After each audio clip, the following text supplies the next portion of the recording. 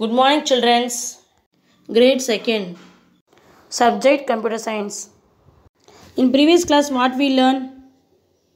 Yes, we learn about output devices.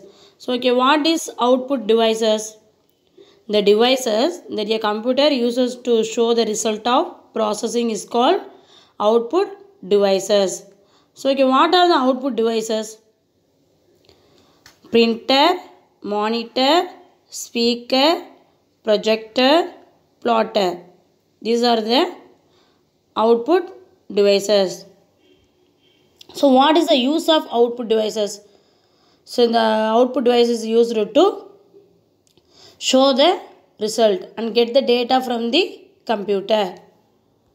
Now, we are going to learn about IPO cycle. So, I stands for input, P stands for process, O stands for output. IPO cycle. Input, process, output cycle. The basic concept of IPO cycle. The process of a computer task can be divided into three stages. First step input, second step process, third step output. So we learn already what is input. So what is input? So in, input means nothing but we can enter data into a computer using keyboard or mouse. This is called input. For example, type text and mouse. Mouse clicking etc. So which is the input device here? Keyboard and mouse.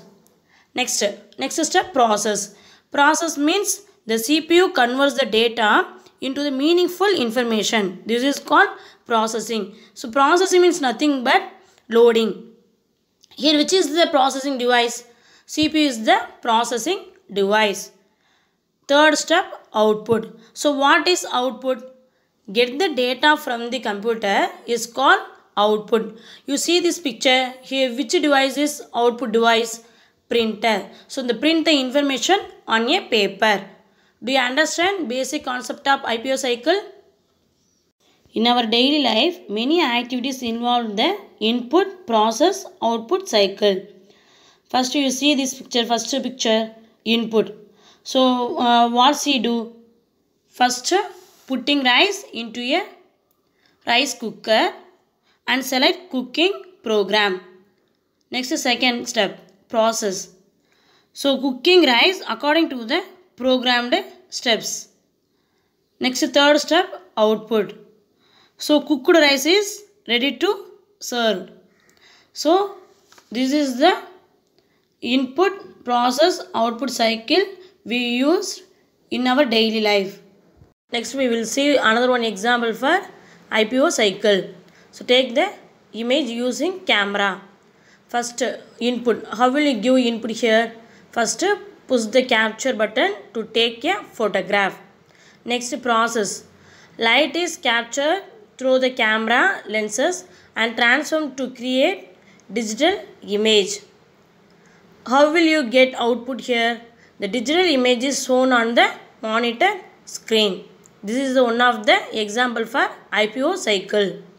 Next see another one example for IPO cycle. Uh, for example, prepare the mango juice. First we take mango that is input. How will you give input here? Take the mango pulp and sugar and milk. Next process. Process means blend in the mixer grinder.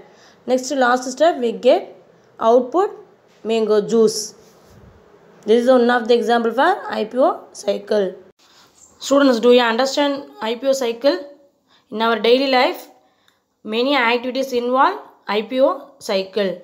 So, okay, what is input, what is process, what is output? Do you understand about this lesson? Yes, I think you understood about this lesson. Okay, thank you.